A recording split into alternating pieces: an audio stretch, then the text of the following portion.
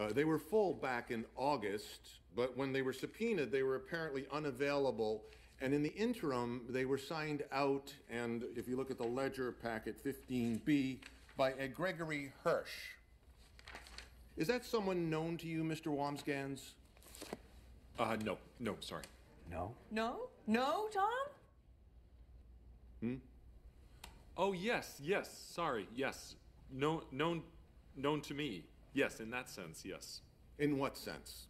Uh, in the sense that, uh, that uh, what I understood that you meant, What did you think I meant? that um, I knew of him, but no, no, I know, I know him and his face.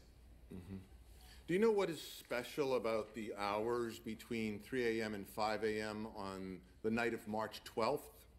Uh, no, sir.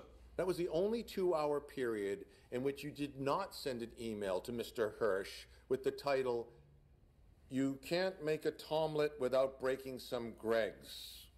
You sent the same email to him 67 times in one evening. I guess it was a joke. Right. I wonder, uh, do the